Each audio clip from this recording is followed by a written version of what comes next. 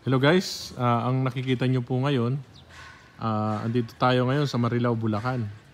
Ayan, ito po yung mga bahay dito, mga RFO unit na tayo dito, dito sa Green Forbes Resident Phase 3. Ayan, ito po yung model house. Ayan, townhouse po siya. Ayan po, papasukin natin mamaya yung ah, loob niyan. Tapos ito yung mga RFO unit natin dito. Ayan. Ang lot area po natin sa ngayon is ah, 55 square meter. Ah, mga inner unit na lang po ang available natin dito sa Green Forbes. Ayan. Loma de Gato Phase 3. Ayan. Ang ah, lot area natin is 55 at ang floor area natin is 47 square meter. Ayan, may parking naman po yan. Ayan, kung ang magiging lot po ninyo, kung sa inner, ganito po. Ayan, yung parking nyo sa harap. Tapos dyan sa may firewall na yan, yung puti na yan, hanggang dito sa next firewall. Ayan, 47 square meter naman po ang magiging ah, floor area natin. Ayan, ang price po ng bahay dito is 1.988,000. Ayan. Tapos ang down payment po natin ay payable naman po para sa 12 months. Ang una po nating babayaran is ah, yung reservation fee na nagkakahalaga ng 10,000. Then ang next po natin is equity. Ayan, ang equity po natin is 362,000. Yan, payable po ng 6 months. Ayan, tapos ah, dahil ito ay array po na, may miscellaneous fee po tayo na payable, payable din po ng 6 months. Ayan, ang miscellaneous fee po natin para sa ang, mis, ang miscellaneous fee po ay include po yung fire extinguisher, HOA membership na 1 year para sa 1 year home association dues at 2 years po na real tax proper, pa- proper, properly tax. Ayan. Then ang kwan po natin, ang ah, electricity and water po is hindi po nakasama sa miscellaneous fee. Ayan, ito po yung kan, ipapakita ko na sa inyo. Ito, naka-sliding po siya.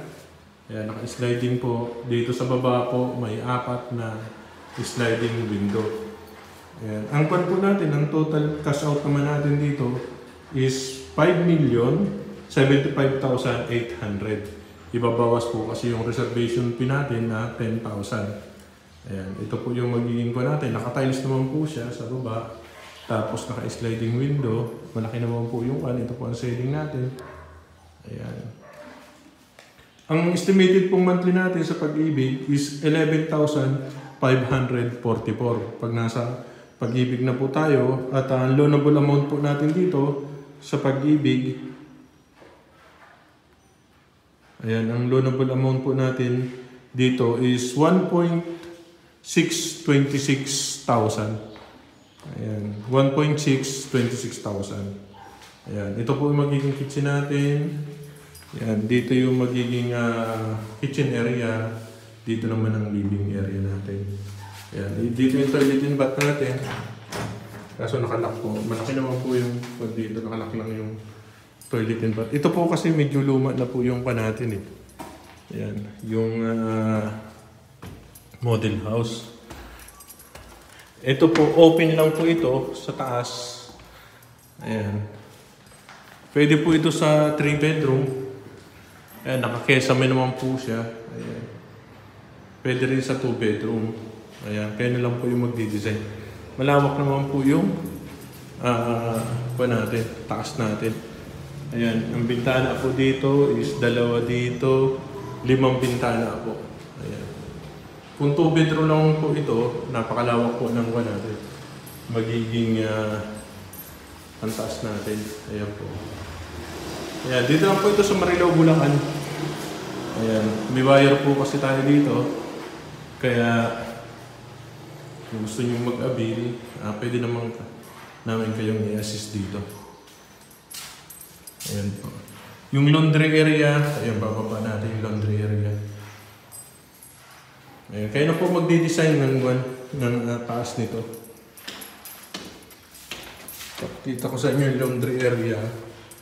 Tapos pakita ko sa inyo yung update ng mapa nito. Ito po yung laundry area natin. Ayan, meron tayong gripo dito. Tapos hanggang dyan yung property natin. Ayan. Ito po yung mga bakante natin dito. Ayan. Ito po yung price list. Ayan. Tulad na sinabi ko kanina, 1.988,000. Ayan. Ito po yung mga pa natin, ah, bakante natin dito. Andito tayo ngayon sa model house. Papasok lang tayo ng sa dalawa, tatlo, tatlong kanto. Ayan. Ito po. Ito na po yung ko natin. Mga array po unit na po ito. 1, 2, 3, 4, 5, 6, 7, 8, 9, 10, 11. 11 unit na lang po. Ayan, 11 unit na lang po yung array po natin. Ayan, wala na po tayong price ceiling. Tapos ang price natin, ito po.